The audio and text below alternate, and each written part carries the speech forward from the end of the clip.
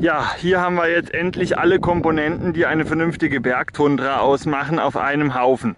Da hinten Wasser.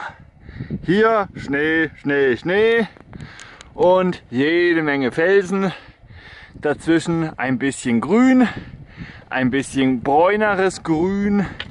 Äh, überhaupt die Schattierungen äh, der Fjellvegetation, die verschiedenen Farben, dazwischen dann dieses gelbliche, das ist übrigens schon wieder ein Moorgebiet, da wird es wieder etwas sumpfig, etwas interessanteres Grün hier mitten im Moor, das ist ein ziemlich intensives Moorgebiet.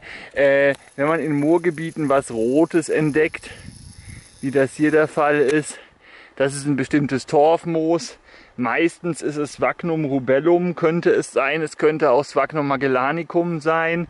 Äh, da bräuchte man ein Mikroskop, um das wirklich gut feststellen zu können. Es sei denn, man ist ein großer Moorexperte. Zum Beispiel mein Vater hätte das gewusst. Der konnte die auch so auseinanderhalten. Ich kann es leider nicht. Ich weiß immerhin, dass es die beiden Möglichkeiten gibt. Ja, eine wunderschöne Landschaft. Das ist genau so, wie ich es mir vorstelle. So mag ich es am liebsten, auch eben mit diesen Felsblöcken Brücken dazwischen, wo man genau sehen kann, dass hier der Gletscher durchgekommen ist und so das eine oder andere hat liegen lassen. Also überall hier ist natürlich der Gletscher durchgekommen, aber hier ist ein bisschen mehr liegen geblieben als andernorts. Eine wunderschöne Ecke hier.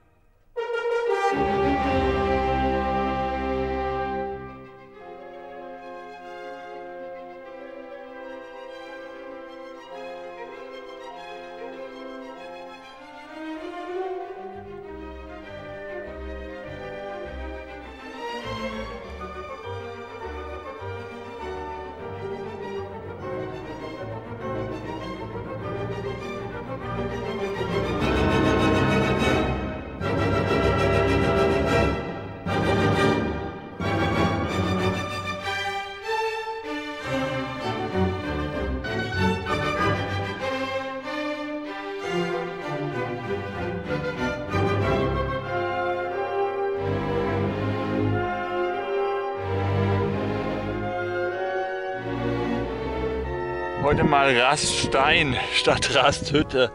Das Ding ist praktischerweise so schön groß, dass es einen super Windschutz darstellt und ich hier nahezu in der Windstille hocke, während hier um mich rum natürlich alles am Rauschen ist. Äh, achso, ihr könnt die Landschaft ja nicht sehen. Jetzt seht ihr sie.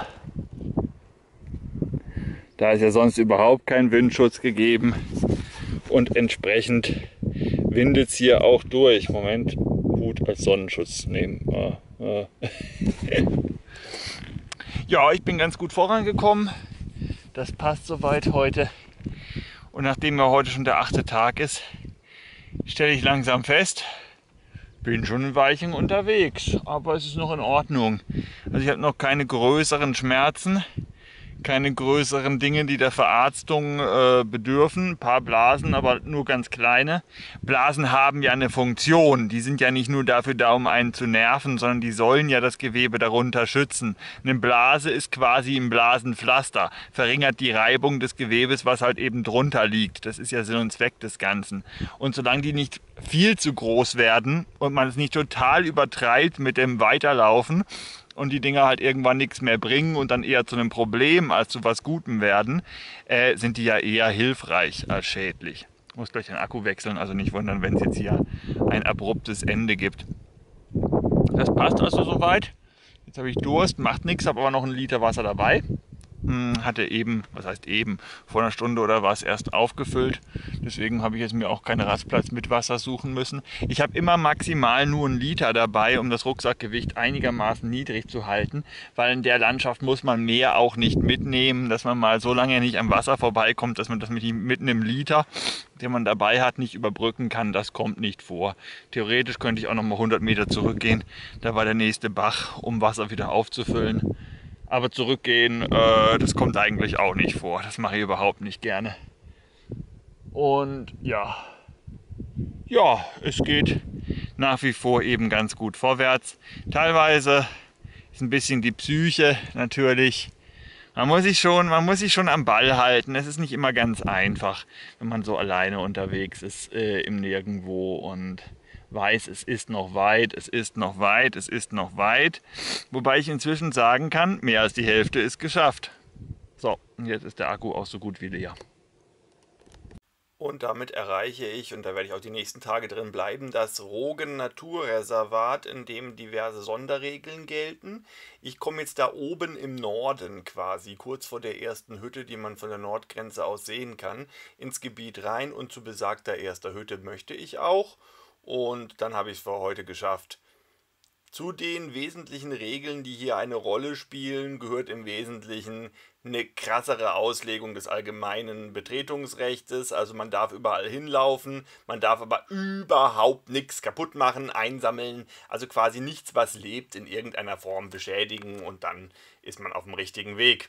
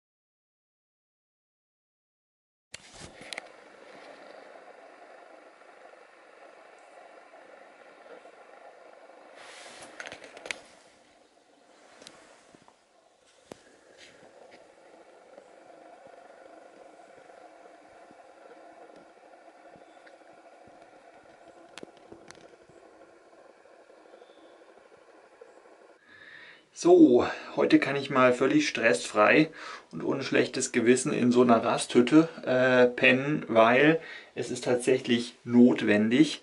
Da draußen kann man nirgendwo im auch nur ansatzweise näheren Umkreis ein Zelt aufstellen. Äh, hätte ich mir so krass jetzt auch wieder nicht vorgestellt. Aber nee, das ist wirklich völlig unmöglich.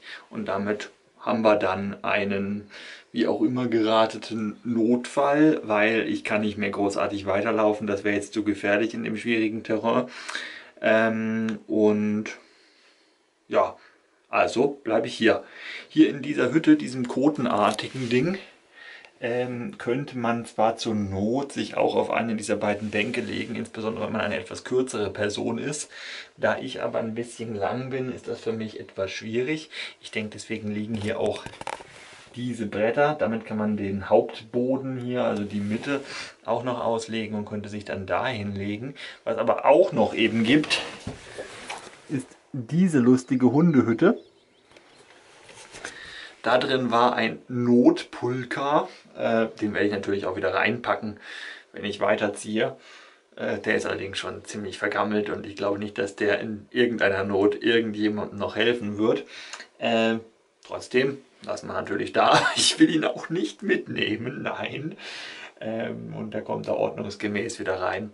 Jedenfalls kann ich jetzt diese Hütte ganz gut nutzen, um jetzt hier in Ruhe zu kochen und habe mir da drüben auch schon äh, mein Bettchen hergerichtet, die Isomatte in die Hütte gelegt, den Schlafsack reingelegt. Ich mache nachher gleich noch ein schnelles Foto und äh, so ein paar Sachen, die ich im Laufe der Nacht vielleicht brauchen werde.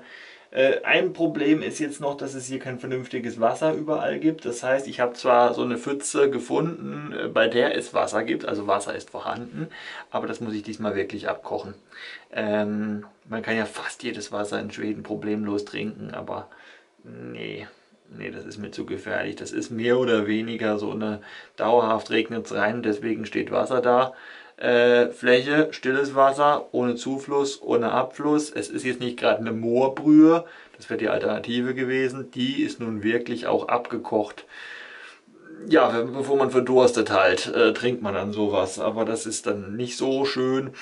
Ähm, ich vermute, dass ich auch im weiteren Tagesverlauf morgen erstmal eine Weile brauchen werde, bis ich irgendwo hinkomme, wo es dann wieder frisches, wohlschmeckendes, problemlos trinkbares Wasser gibt.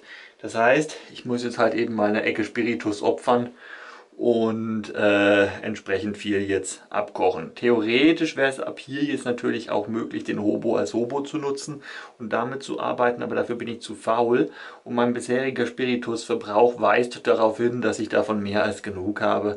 Sollte also überhaupt kein Problem sein, wenn ich mir jetzt hier ein paar Liter abkoche. Ähm, paar Liter meint, ich mache jetzt einmal meinen kompletten Topf, äh, also meinen Kessel, äh, einmal durchkochen. Das reicht dann auf jeden Fall fürs Abendessen und ich habe auf jeden Fall auch noch genug zu trinken, um durch die Nacht zu kommen. Und morgen früh mache ich das gleiche nochmal zum Frühstück. Das reicht dann definitiv fürs Frühstück.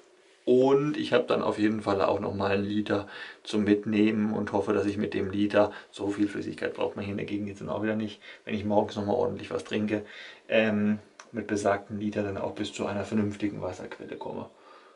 Sieht so aus, als gäbe es da hinten, was heißt, sieht so aus, es gibt da hinten definitiv auch noch große Seen, ähm, von denen zumindest einer kein Moorsee sein sollte und aus dem müsste man dann eigentlich auch wieder relativ problemlos trinken können. Ansonsten spätestens bei der nächsten Hütte, äh, die ich dann hoffentlich auch irgendwann erreiche, da sieht die Sache dann auch schon wieder ganz gut aus.